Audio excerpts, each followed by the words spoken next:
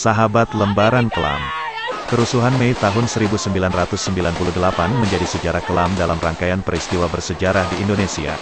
Para demonstran memenuhi jalanan demi mendapat perhatian para wakil rakyat di Senayan. Kerusuhan kala itu tak lepas dari kepentingan politik juga kalangan tertentu, hingga akhirnya kebencian, kecurigaan, dan ketegangan menguasai jiwa para demonstran. Hanyalah keberanian yang menjadi harga mati untuk hidup dalam keadilan, pergerakan kerusuhan yang menyebabkan kekacauan itu sudah tak mampu menciptakan pertahanan ketenangan bagi para demonstran. Bagi kamu yang belum mengetahui bahwa Indonesia pernah berada di titik kelam pemerintahan, hingga menciptakan kerusuhan dan penyerangan terhadap etnis tertentu, yuk simak fakta peristiwa Mei tahun 1998 ini.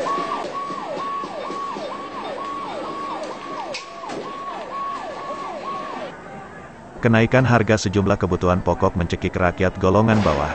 Kenaikan ini dipicu terjadinya krisis ekonomi di negara-negara Asia yang juga berdampak pada perekonomian Indonesia. Berbagai aksi protes di daerah mulai terjadi, hingga puncaknya ribuan mahasiswa yang didominasi mahasiswa Universitas Trisakti turun ke jalan pada tanggal 12 Mei tahun 1998.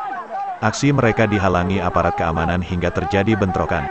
Diduga aparat itu menyerang dengan tembakan peluru yang merenggut nyawa empat mahasiswa Trisakti, lewat Kepres 057, PK, 2005 tertanggal 15 Agustus tahun 2005. Keempat mahasiswa tersebut ditetapkan sebagai pahlawan reformasi oleh Presiden ke-6 Republik Indonesia Susilo Bambang Yudhoyono.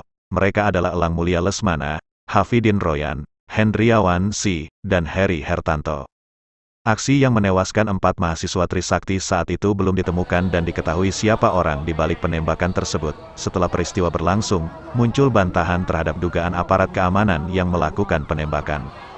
Mereka menyangkal, karena aparat tidak disenjatai senapan berpeluru asli, hanya tongkat pemukul, peluru kosong, peluru karet, senapan air, dan tembakan gas air mata. Meski beberapa tahun kemudian akhirnya terdapat enam orang oknum aparat yang menjadi terdakwa, tetapi tidak terungkap siapa dan apa motif penembak. Mereka hanya dijatuhi tuduhan karena dengan sengaja tidak menaati perintah atasan. Pelantikan Soeharto menjadi Presiden Republik Indonesia setelah 30 tahun menjabat sebagai Presiden, dan dilakukan secara aklamasi oleh DPR membuat gerah mahasiswa dan aktivis di seluruh Indonesia. Serangkaian aksi demonstrasi seluruh aktivis dan mahasiswa yang dilakukan di luar kampus menuntut pemerintahan Soeharto. Setelah banyaknya kericuhan terkait tuntutan itu, Soeharto memutuskan untuk mengundurkan diri dari jabatan presiden secara tidak terhormat pada tanggal 20 Mei tahun 1998. Bagi sebagian besar masyarakat Indonesia saat itu, kekuasaan Soeharto dikenal mutlak dan jauh dari kata demokratis. Kebebasan berpendapat dibungkam, dan banyak pelanggaran HAM yang terlihat ditutup-tutupi. Hal ini membuat para aktivis semakin geram. Selain demonstrasi yang merenggut empat mahasiswa Trisakti, Luka mendalam juga dirasakan bagi etnis Tionghoa terhadap tragedi Mei tahun 1998.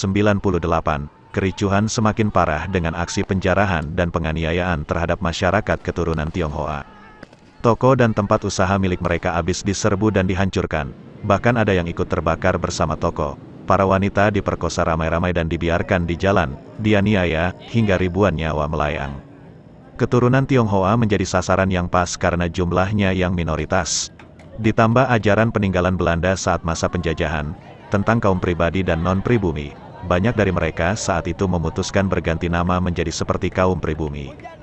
Para keluarga korban pelanggaran HAM di Indonesia, mencetuskan aksi Kamisan, pada tanggal 18 Januari tahun 2007. Mereka termasuk keluarga para korban tragedi Mei tahun 1998 yang tewas di Trisakti, Semanggi, dan kawasan lainnya.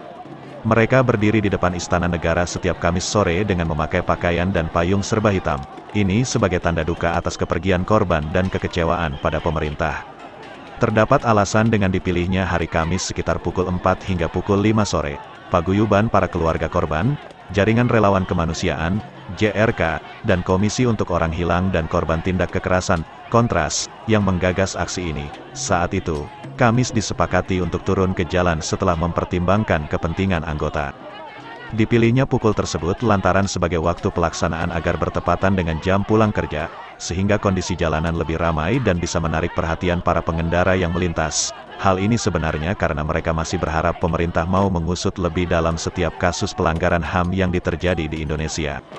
Awal 2017 lalu, Rilisnya sebuah film berjudul, Istirahatlah Kata-Kata, yang mengundang sambutan positif. Film ini mengisahkan sosok Wiji Tukul, aktivis, dan sastrawan yang hilang setelah tragedi Mei tahun 1998. Wiji Tukul aktif menyuarakan protes terhadap pemerintahan masa Orde Baru. Ia juga berpartisipasi dalam banyak aksi demo yang digelar para buruh, Suara lantangnya harus membuat dirinya berpindah tempat untuk menghindari pengejaran. Hingga kini sosok Wiji Tukul dan sejumlah aktivis HAM lain belum diketahui rimbanya. Semua menyisakan tanda tanya besar tentang kepentingan yang disembunyikan di balik deretan pelanggaran HAM di negeri ini. Nah sahabat lembaran kelam, itulah peristiwa kerusuhan yang terjadi pada tanggal 12 Mei tahun 1998.